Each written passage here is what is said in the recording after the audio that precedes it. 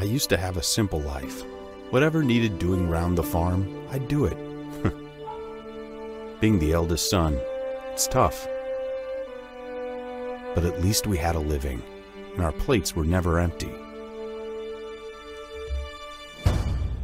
Then, the war came.